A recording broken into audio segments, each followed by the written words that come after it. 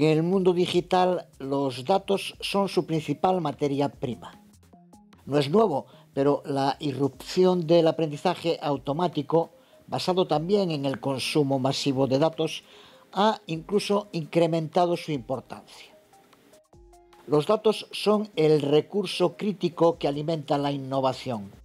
Son clave para la toma de decisiones correctas y han contribuido a aumentar el valor añadido en actividades muy diversas.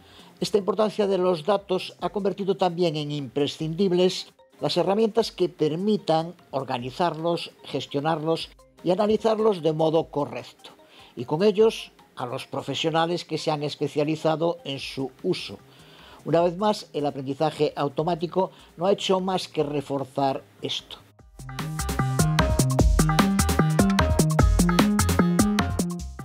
Esto explica la consolidación de la ciencia de datos, que aunque tiene raíces que se remontan a varias disciplinas, como la estadística y la informática, tal como la conocemos hoy es un campo relativamente nuevo.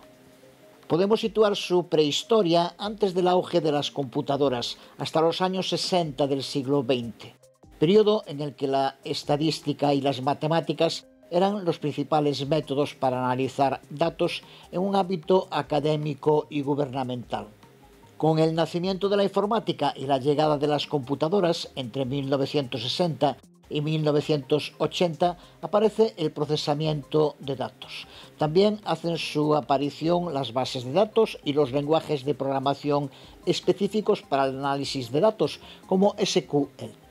Entre 1990 y el 2000, la popularización de Internet genera una cantidad sin precedentes de datos. Se empiezan a desarrollar nuevas herramientas y algoritmos para manejar lo que se pasa a denominar Big Data. A principios del siglo XXI, entre 2000 y 2010, la ciencia de datos se consolida como una auténtica disciplina. Se empieza a generalizar el término data science o ciencia de datos como campo en el que convergen la estadística, la informática y sobre todo la acumulación de conocimientos del sector que lo convierten en ciencia auxiliar para una gran cantidad de ramas industriales de todo tipo. Es lo que se denomina en inglés conocimiento del negocio, crucial para convertir los datos y los modelos analíticos en decisiones prácticas y útiles para la mejora en la gestión de prácticamente cualquier tipo de actividades. Al tiempo aparecen o se especializan lenguajes de programación como R y Python, desarrollando bibliotecas específicas para análisis de datos y también para el aprendizaje automático que empezaba a desarrollarse en esos mismos años. Desde 2010 y hasta la actualidad, la consolidación del aprendizaje automático y la inteligencia artificial se han convertido en componentes centrales de la ciencia de datos. Nacen frameworks como TensorFlow y PyTorch que facilitan la construcción de modelos de aprendizaje profundo, siempre relacionados con la gestión de cantidades enormes de datos. En la actualidad, la demanda de especialistas en ciencia de datos no deja de crecer. Científicos de datos, ingenieros de datos, analistas de datos, etc.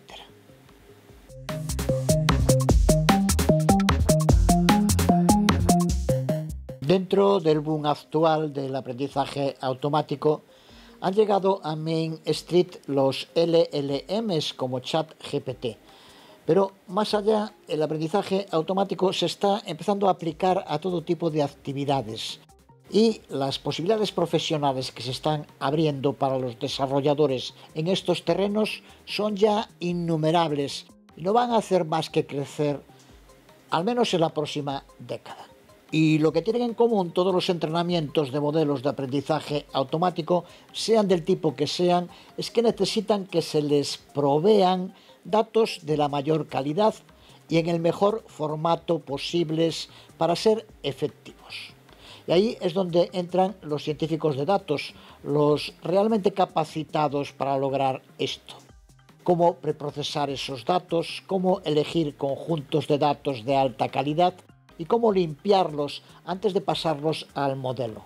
Son pasos imprescindibles para lograr los mejores entrenamientos de modelos de aprendizaje automático y solo los científicos de datos están capacitados para hacerlo.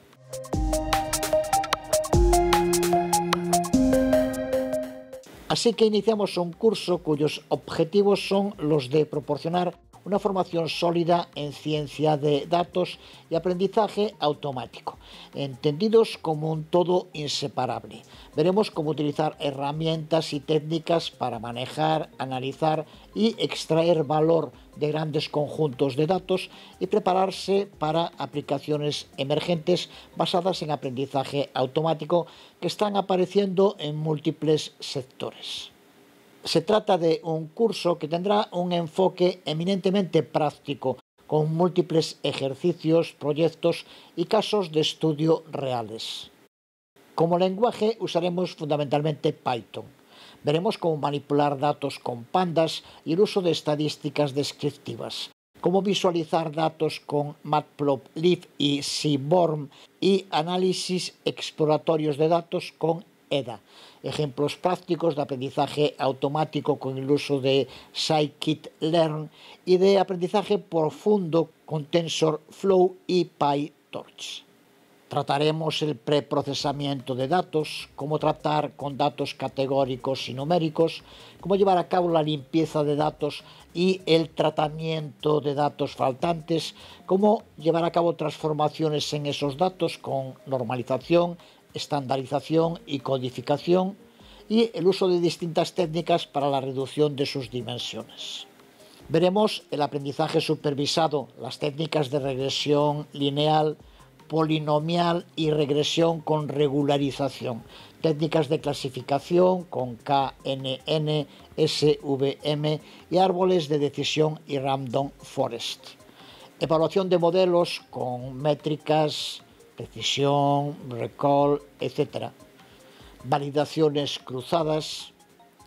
Trataremos también el aprendizaje no supervisado con clustering, K-means y DB-scan. Regla de asociación con el algoritmo a priori y el algoritmo FP-Grout, así como el aprendizaje profundo y las redes neuronales desde luego. Dedicaremos también tiempo a tratar temas de estadística, tanto de sus fundamentales como de su uso dentro de la ciencia de datos para llevar a cabo todo tipo de cálculos como los de correlación y covarianza o las pruebas de hipótesis, por ejemplo.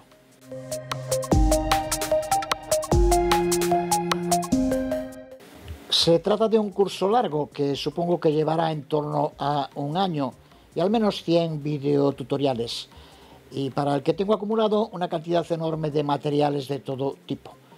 Supongo que a la meta llegaremos unos pocos, como siempre. Dije hace décadas en aquel sitio PHP Nook, ya pasto de Wayback Machine, todo gran viaje comienza con un primer paso y nunca me ha asustado recomenzar y volver a dar primeros pasos, recuperar las emociones de empezar de nuevo.